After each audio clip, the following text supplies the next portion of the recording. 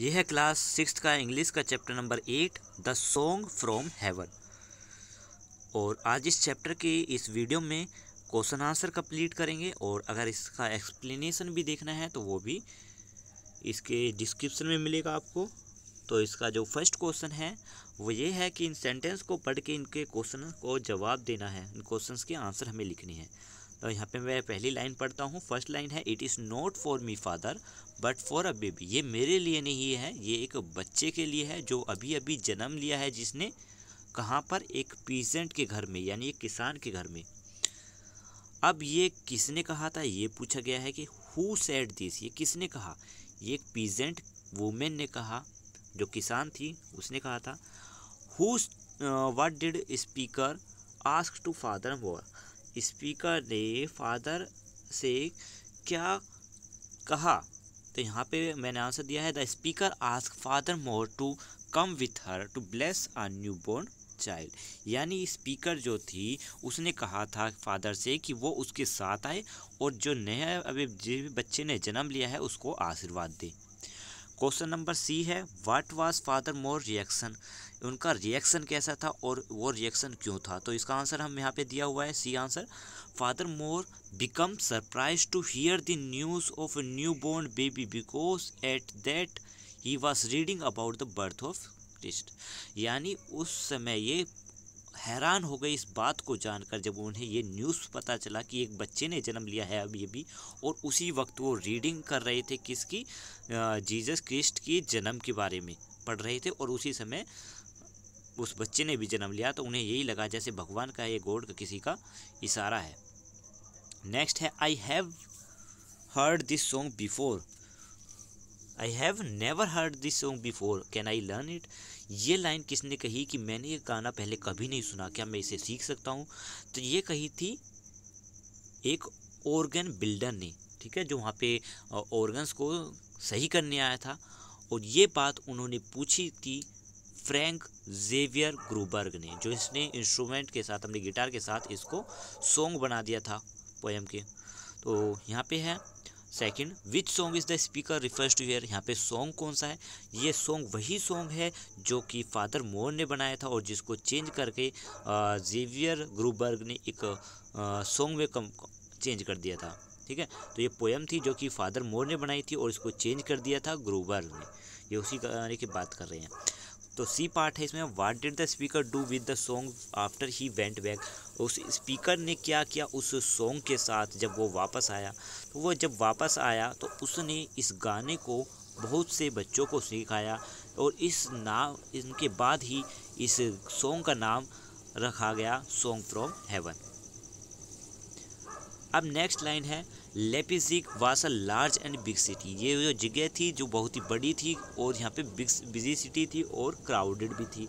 तो यहाँ पे बच्चे जो थे, वो अपने आप को लॉस्ट फील कर रहे थे और अनकंफर्टेबल ऐसी इतनी बड़ी भीड़ में, इतनी बड़ी क्राउड में। तो क्वेश्चन है यहाँ पर जो पूछा हुआ है who are the children refers to यहाँ पे चिल्ड्रंस जो हैं, वो कौन है? तो चिल्ड्रंस के यहाँ पे नाम लिखे गए हैं कैरोलिन जोसेफ एंड्रियस और एमिली बी पार्ट में पूछा है why were the children in the city of Leipzig वो वहाँ पर क्या कर रहे थे? तो यहाँ पे जो है because they parents sell gloves in the city of Leipzig क्योंकि उसके जो पेरेंट्स थे, वो ग्लव मेकर थे और वहाँ पर जाकर उनको बेचते थे।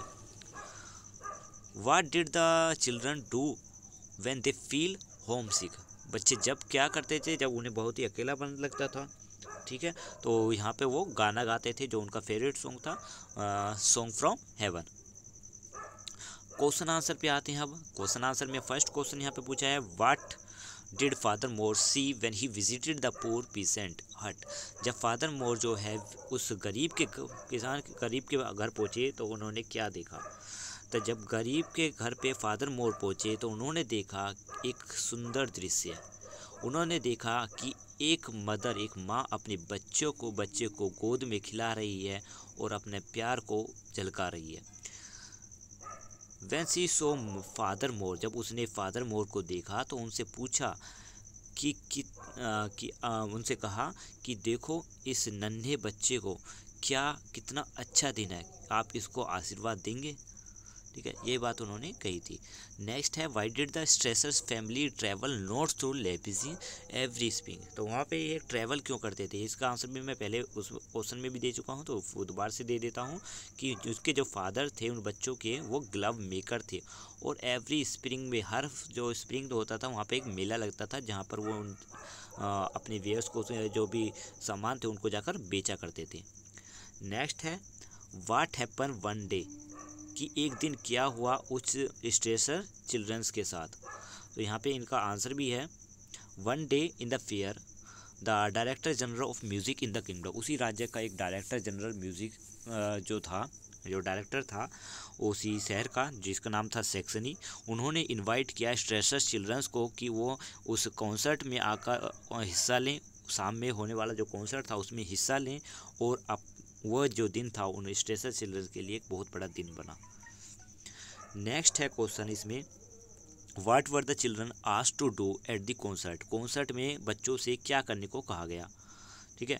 तो क्वेश्चन है यहाँ पे, क्या करने को कहा गया? तो इसका आंसर भी है कि at the concert at the concert the director general of music announce the name of Strassers sibling यहाँ पे जो कॉन्सर्ट हुआ था, वहाँ पे डायरेक्टर जनरल जो थे, उन्होंने बच्चों को स्टेज पर बुलाया और उनसे कहा स्टेज पर गाने गाने के लिए। तो चिल्ड्रंस ने स्टेज पर गाना गाना स्टार्ट कर दिया, जिससे कि वहाँ के जो लोग हैं, उनके गाने को देखकर, सुनकर हैरान रह गए और कुछ समय तक जो है बिल्कुल शांत रहे। और फिर एकदम से सभी की तालियों और चिल्लाहट के से पूरा ऑडिटोरियम जो था, वो गूंज उठा।